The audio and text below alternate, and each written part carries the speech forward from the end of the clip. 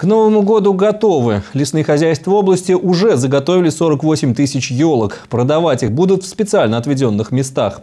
По каким ценам в этом году жители смогут приобрести лесную красавицу, расскажет Анастасия Куклева.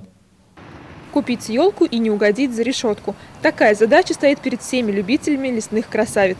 С этого года штрафовать будут не только тех, кто продает нелегальные елки, но и тех, кто их приобретает. Чтобы новогодние праздники не пришлось встречать в местах столь отдаленных, жители должны ответственно подойти к покупке елок.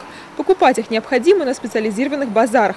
Также продавец обязан показать документы, подтверждающие оплату и ордер на отпуск елок из лесхоза. Что касается именно ответственности за незаконную рубку, в этом году с 1 августа внесено, внесено изменение федерального закона в данную статью Кодекса административных правонарушений который говорит о том, что э, лица могут быть привлечены за приобретение, хранение, перевозку и сбыт заведомо незаконно заготовленной древесины. И штраф за данное правонарушение составляет э, порядка 5000 рублей.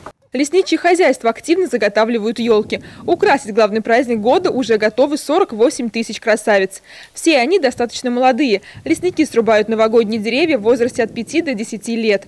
В лесхозе покупатель может заранее выбрать ту елку, которую хочет, чтобы ему срубили.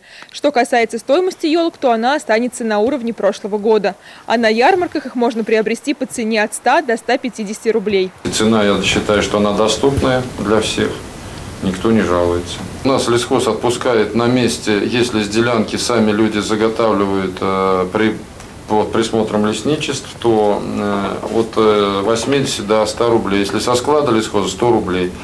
Спрос на новогодние елки порождает появление большого количества браконьеров. В прошлом году в лесах дежурили волонтеры. Они охраняли елки от нелегальной вырубки. В этом году уже сформированы маршруты патрулирования. По ним будут курсировать 64 бригады. Максимальный штраф для тех, кто решил сэкономить, то есть для браконьеров, составит 4 тысячи рублей. Таких смельчаков с начала месяца выявлено не было. Анастасия Куклева, Евгений Шейченко, РЕН-ТВ, Саратов.